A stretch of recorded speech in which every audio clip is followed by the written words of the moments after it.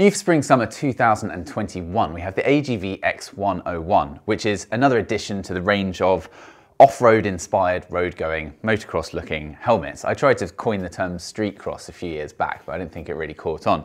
But that's kind of what this is. So you've got helmets that sort of started this movement like the Bell Moto 3, which this is a pretty close resemblance to, of course, because it is that off-road inspired design. This one particularly, AGV say, taking inspiration from the designs of the 70s and 80s Dakar rally helmets, and we actually have a Dakar colorway, as they call it here, uh, as well, just to kind of honor that.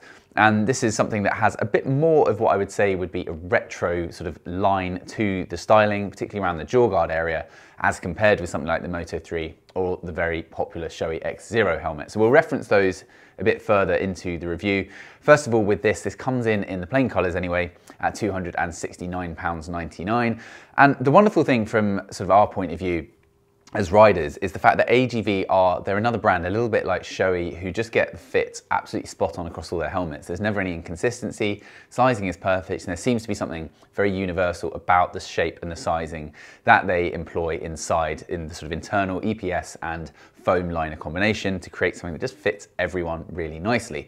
And that's certainly the case for me. I have more of an oval head shape, as do quite a few of the guys around the office, and it's not always the case with some of the other brands in particular Bell that it's necessarily the perfect shaped head for us. So the AGV has always been a really, really great fit and it seems to also fit people with more of a rounded head shape just as well too. So it's one of those very clever balances they've managed to strike.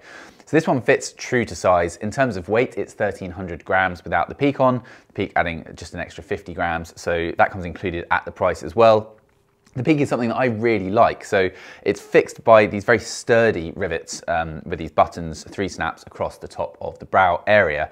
That's something that is also a problem in some of the other rival helmets. Not gonna name and shame any particularly, but they're not always the most dependable. If you're someone that does like to take the peak on and off, we have seen these buttons sort of fail over time. I've given these a really good go, getting them on and off several times, and they feel really sturdy and secure. So that's nice and reassuring. But the peak itself has this really nice kind of vented, little system, which you can't necessarily see that clearly in the pictures on the product pages. So I didn't realize it had this until I saw the actual helmet. And I really like it. I think it gives it quite a cool look and design. I don't know how much it helps really with airflow, cooling, venting, or aero, or whatever the reason behind it is, but it just looks really nice.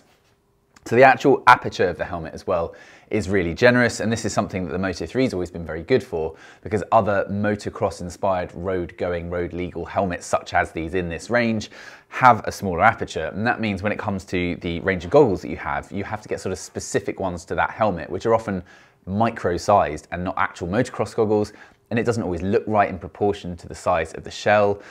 These just take motocross goggles, and what we have here as an example are the 100% Barstow goggles, which are very popular with people in our part of the world to accessorize with these kind of helmets, and they are absolutely amazing. So um, do have a look over on urbanrider.co.uk. We've got some great deals going on the Barstow range. This is the Deus one, and it looks amazing. It fits really neatly onto the aperture with just the right drop inside between the outer of the shell allowing for these goggles to work seamlessly, perfectly, and it's just a really great, neat fit. Nice seal around the edge too. Seal is probably the wrong word, but a nice, neat join around the edges. So when it comes to the jaw guard, as you will see here, this has a sort of flatter profile to it as compared with the Bell, which of course is based on the 70s helmet that Bell made for motocross, which has a slightly more aggressive style jaw guard with a slightly higher rise to the opening of it. And then as compared to the Shoei EX-Zero, which is another really popular helmet in this range that has an even more aggressive style to it. The Shoei coming in at a higher price of $323.99, but that includes the internal retractable visor, but no peak, so sort of win one, lose another, and the Bell Moto 3 like the X101, including the peak as well.